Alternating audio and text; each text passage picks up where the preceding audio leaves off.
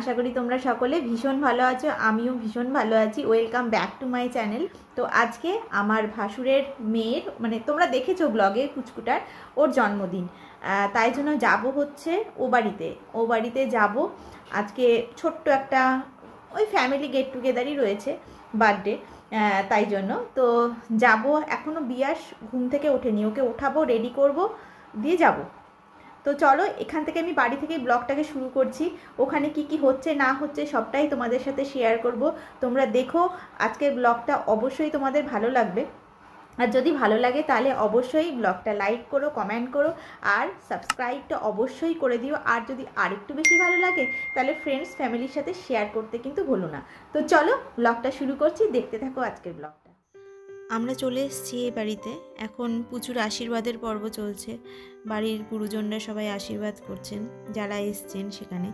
ও দাদু, দিদা, তারপর আমাদের জেঠতো দাদা, আমি, আমার হাজব্যান্ড ওর মা বাবা সবাই আশীর্বাদ করছে। এখনও কেক খাওয়ার পর্ব শুরু হয়নি। এই আশীর্বাদ পর্ব শেষ হলেই কিন্তু শুরু হবে কেক কাটার পর্ব। তো চলো দেখতে থাকো। আশা করি ব্লগটা তোমাদের ভীষণ ভালো লাগবে এবং তোমরা খুব এনজয় করবে ব্লগটা।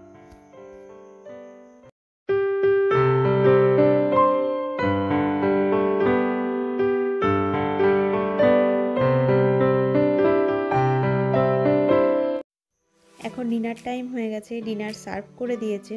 তো এখানে রয়েছে চিকেন ফিশ চাটনি ভাজা ফ্রাইড রাইস ডাল, মাছের মাথা দিয়ে। তো মিষ্টি, দই অনেক কিছুই ছিল। তো এখানে তাড়াতাড়ি খাওয়া দাওয়া করে আমাদেরকে বাড়ি ফিরতে হবে। তো ব্লগটা কিন্তু আমি কালকে অবধি কন্টিনিউ করব, যেহেতু তোমাদেরকে বলেছিলাম। আমি কালকে একটা দারুণ কেকের রেসিপি শেয়ার করব। যারা তোমরা বিগিনার রয়েছো বা কেক বানাতে ভয় পাও, তারা কিন্তু এটা অবশ্যই দেখো এবং ট্রাই করো।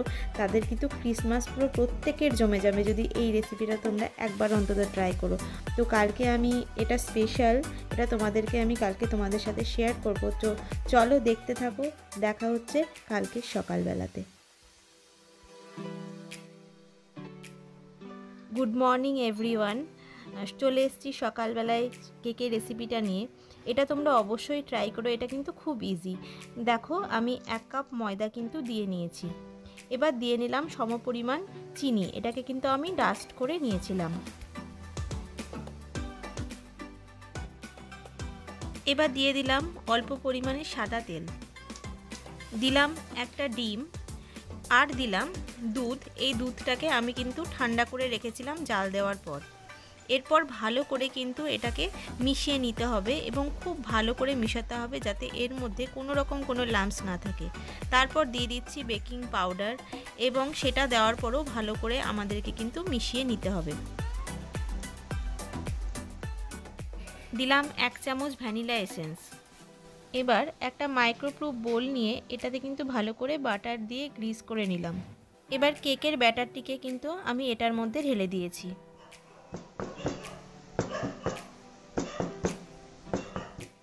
এবার দিয়ে দিলাম ড্রাই ফ্রুটস কাজু ও কিশমিশ মাইক্রোওয়েভটিকে ওয়ান টোয়েন্টি ডিগ্রি টেম্পারেচারে কিন্তু আমি প্রিহিট করে নিয়েছিলাম। তারপর কিন্তু আমি এই ব্যাটারটিকে এর মধ্যে দিয়েছি। আমি ওয়ান এইট্টিতে প্রথমে দিইনি, আমি ওয়ান টোয়েন্টিতে দিয়েছিলাম এবং পনেরো মিনিট পরে কিন্তু আমি একবার দেখে নিচ্ছি যে এটা কিন্তু আর একটু হবে।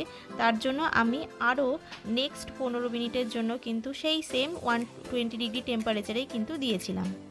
এবং আমাদের কেক কিন্তু পুরোপুরি রেডি হয়ে গেছে। দেখো, দেখতে কি সুন্দর হয়েছে। তো তোমরা অবশ্যই কিন্তু এই টিকেটটা ট্রাই করো। খুব ভালো হয় খেতে এবং ক্রিসমাসে অবশ্যই ট্রাই করো। খুব ভালো করে ক্রিসমাস কাটিও। যদি ভালো লাগে ভিডিওটা, তাহলে অবশ্যই লাইক করো কমেন্ট করো এবং সাবস্ক্রাইব করতে ভুলো না। তো চলো, আজকের মতো এখানেই টাটা। দেখা হচ্ছে আবার নতুন কোনো ভিডিওর সাথে। খুব ভালো থেকো।